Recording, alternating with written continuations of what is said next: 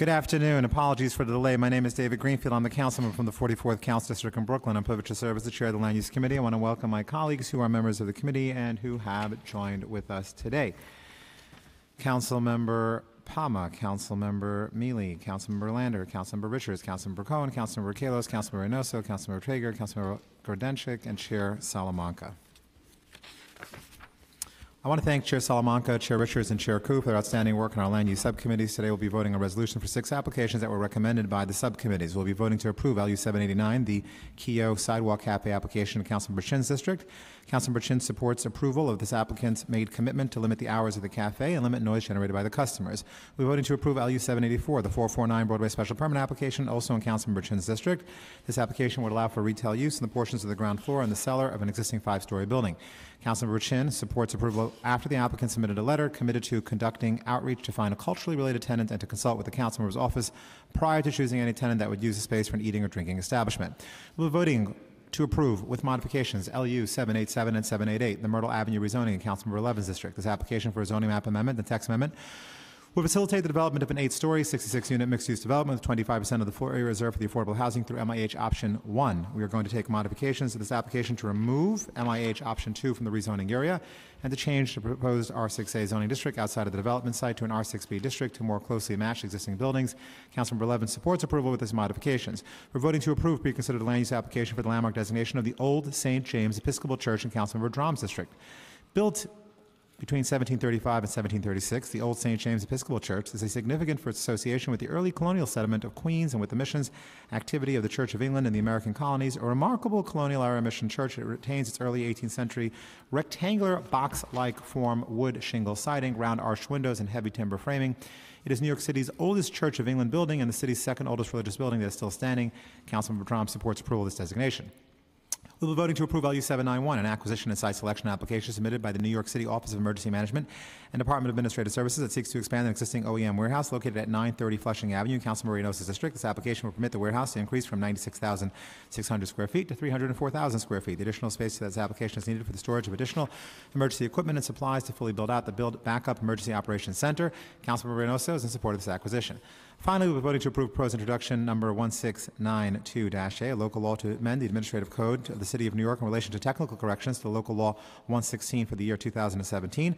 The bill would make corrections to Administrative Code Section 25-114 as added by Local Law 116 of 2017. It would amend the construction code by classifying violations of conditions, restrictions, and requirements relating to privately owned public spaces as major violations and would establish a minimum 4,000 penalty for a first violation and a minimum 10,000 penalty for a subsequent violation.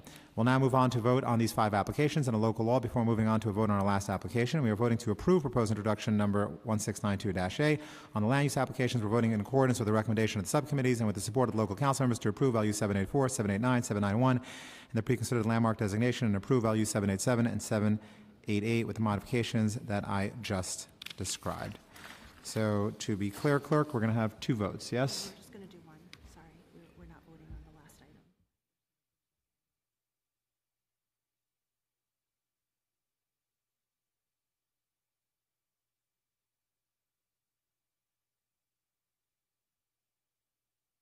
Okay, revise that. We are in fact going to have one vote on all of the items. And I would like to turn it over to Councilmember Kallos to speak of the Intro 1692A, which he is the prime sponsor, and I'm pleased to be the co-sponsor along with him. Just want to thank uh, Chair Greenfield for adding a new light to pops. Uh, some might think pops are just how you say soda in Buffalo and Western New York and other parts of the country, but uh, here in Detroit, uh, but here in New York City, pops are uh, privately owned public spaces, and uh, they're often honored in the breach. Councilmember Greenfield uh, held a hearing. Our comptroller uh, held an audit. Uh, we have been all working together on legislation, and uh, grateful to be uh, working with our chair on this, and hopefully. Moving forward, we'll actually see signs, signage in all of the uh, pops that actually shows what we're supposed to have there, and uh, we'll actually be able to use them regardless of what a security person may say, and that there'll actually be fines for when people don't follow the rules, uh, which should have a huge impact when we see 4,000 for the first offense and 10,000 or more on second and additional offenses. Thank you to the chair. Absolutely. Thank you, Councilmember Kallos. And uh, just to expand on that, uh, there are approximately 3.2 million square feet of public space in New York City that's known as privately owned public space, where we, as the city, agreed to give developers more ability to build in return for providing these privately owned public space. Some of them are easily accessible. You walk down the street, you see a building, you'll see some seats next to it, and you know that's a public space that is privately owned. Others, unfortunately, are not easily accessible, and so we've held hearings and we've passed legislation to enforce it, to bring signage, to actually have folks come and inspect it as well. And uh, I'm proud to have worked very closely with Councilmember Kallos. In this particular legislation, Councilmember Kallos is sponsoring and I'm co-sponsoring, which would increase the penalties for violations for not allowing the public to access these public spaces. So I want to thank Councilmember Kallos for being a partner with me for the last two years on the POPs-related legislation. I'm very pleased that we're able to get this wrapped up today as well. I also would like to thank uh, the Department of City Planning Director Marisa Lago and General Counsel Anita Laremont for their collaboration on this legislation. I want to thank our land use staff for really tremendous work, probably a thousand plus hours working on this, including our land use director Raju Mann, Assistant Director Amy Levitin, General Counsel Julie Lubin, Counsel Jeff Campagna. I also want to thank in my own office my counsel Elena Sacheva, who is the point person on this, and my Chief of Staff Danny Perlstein for working with me to get this done. It's uh, a wonderful achievement 3.2 million square feet of public space, half of which traditionally has not been accessible. We're finally going to have the enforcement mechanism to actually make sure that the public can access this space. And once again, thank you to Councilmember Kallos for working with me on this for the last two years. Any other questions or comments? Hearing none, I will ask the clerk to call the roll. And once again, we will be voting on all of the items. I want to recognize that we've been joined by Chair Koo. We're going to be voting on all the items that are coming out of the subcommittees, including this legislation sponsored by Council Member Kallos, Intro 1692A. Will the clerk please call the roll? Committee Clerk Matthew DiStefano, Committee on Land Use. Roll call vote to approve Intro 1692A, LU 784, 789, 791, and the pre-considered LU regarding the Old St. James Episcopal Church. And roll call vote to approve with modifications LU 787 and LU 788. Chair Greenfield. Aye. Palma. Mealy. Aye. Koo. Aye. Lander. Richards. Aye. Cohen.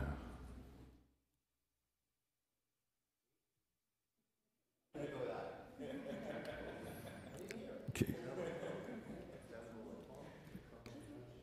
Kallos. Aye. Reynoso. Uh, Permission to explain my vote?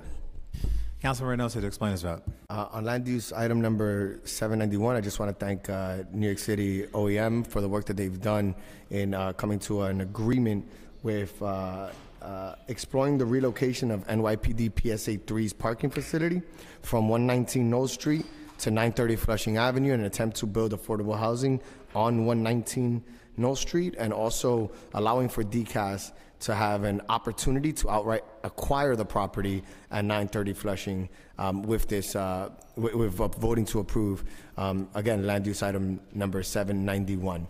Uh, and with that said, I vote, I don't know. Congratulations, Councilmember. Thank you. Treyger. Grodenchik. Salamanca.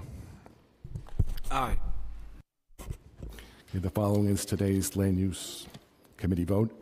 Um, Intro 692A, LU 784, 789, 791, and the pre-considered LU have been approved by a vote of 12 in the affirmative, zero in the negative, and no abstentions.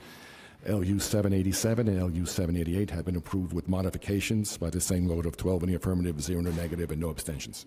Thank you. As is our practice, we're going to keep the roll open for 15 more minutes until 12:50 p.m.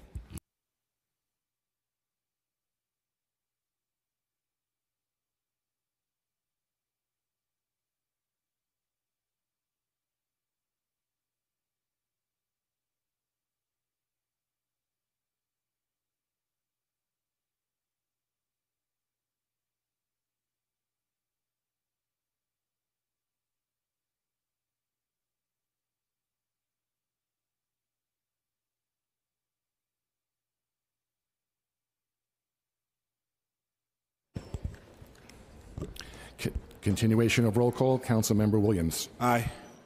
Vote now stands at 13 in affirmative, 0 in the negative, and no abstentions on all the items. Thank you.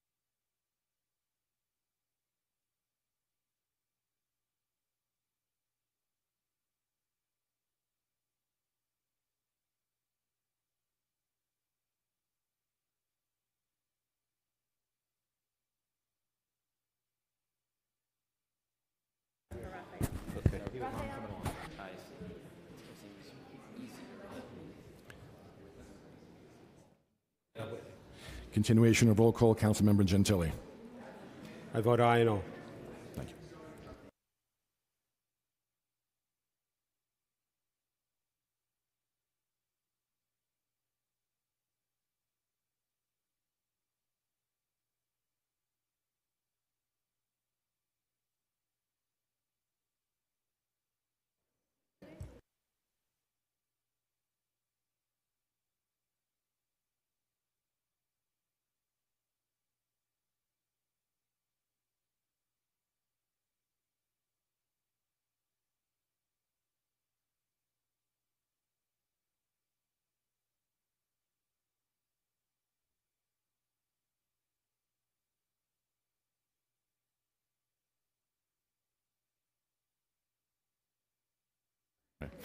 Continuation of roll call, Committee on Land Use, Councilmember Garodnick. Thank you. I vote aye.